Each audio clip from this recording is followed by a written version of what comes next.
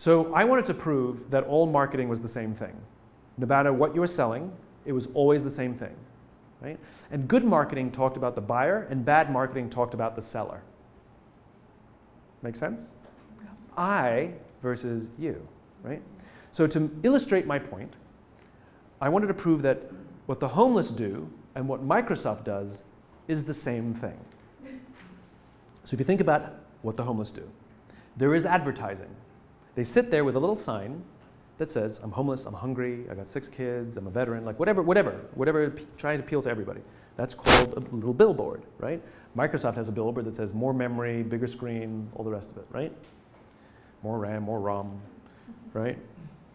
And what the homeless are selling is goodwill. So if you walk past a homeless person and you put money in their cup, you feel good. If you give them nothing, you either feel nothing or feel bad. You paid for that feeling. There's an exchange of consideration. I sold you goodwill, you paid for it, you got it, right? They're selling goodwill. That's what they're doing. They're selling the feeling of goodwill.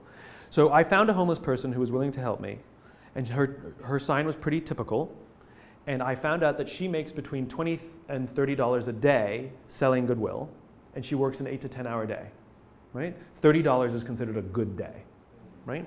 Selling goodwill. And like I said, her sign was pretty typical. So I asked her if I could change her sign, and we did. And the sign that I gave her, she made $40 in two hours. The sign that I gave her said, If you only give once a month, please think of me next time. It wasn't about the seller, it was about the giver.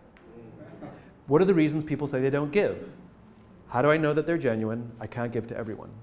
So I simply answered the questions.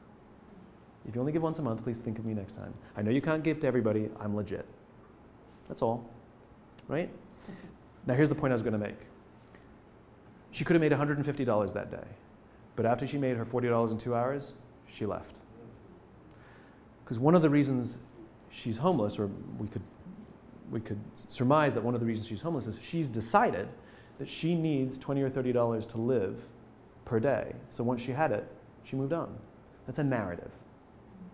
It's a narrative. Right? So she'll stay there because she didn't sit longer. That's a narrative. So there's a wonderful little trick you can use with your narrative. Right? Just add the word yet at the end. Okay? I'll never get, I'm not famous yet. I'm not that talented yet.